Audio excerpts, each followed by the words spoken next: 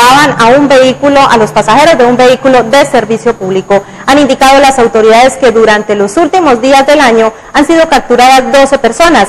Llama la atención de las autoridades que esas 12 personas, entre esas 12 personas, hay 6 menores de edad involucrados en asaltos a colectivos a mano armada.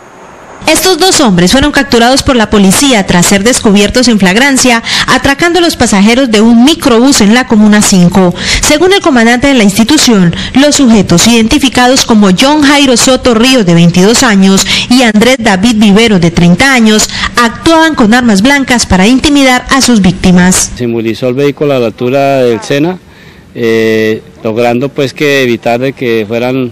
Eh, atropellar a estas personas y pues especialmente que continúen este tipo de ilícitos dentro de los servicios públicos de Buenaventura. El oficial expresó que en los últimos días han sido capturadas 12 personas, entre ellas 6 menores de edad, por atracar en los vehículos de servicio público. Se ha sido una queja eh, que desde noviembre hemos estado recibiendo y se ha hecho algunos trabajos, ya llevamos aproximadamente 10 personas capturadas por eso, incluyendo ahí 6 menores de edad que se han puesto a disposición de las autoridades y pues seguimos que trabajo contundente frente a este flagelo porque pues es una de las eh, mayores eh, afectaciones que la comunidad ha presentado y que se han quejado a las autoridades. Los delincuentes que han sido capturados utilizaban el paradero de los buses para comenzar a analizar a sus víctimas y en el camino los atracaban. Ahora deberán responder por sus actos ante la Fiscalía.